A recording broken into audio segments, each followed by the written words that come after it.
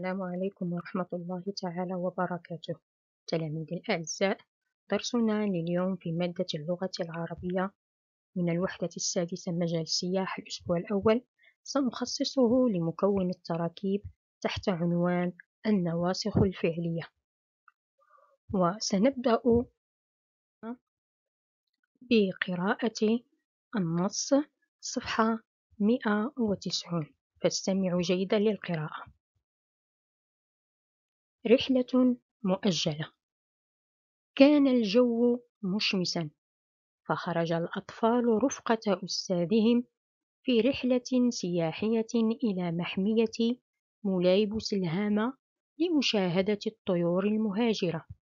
وفجأة صارت السماء غائمة وأمسى المطر منهمرا فقال الأستاذ ليس الوقت مناسبا.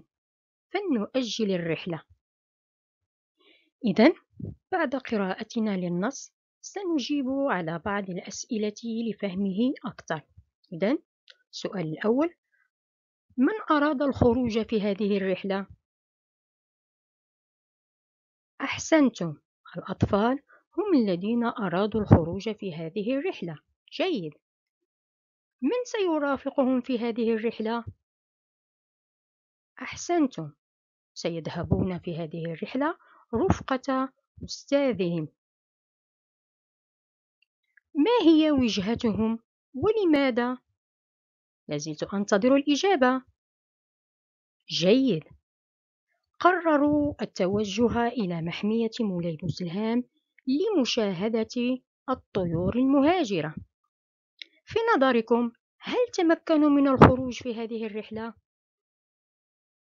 جيد. لم يتمكنوا من ذلك بسبب المطر الذي بدأ ينهمر. إذا الآن فهمنا جيدا معنى النص.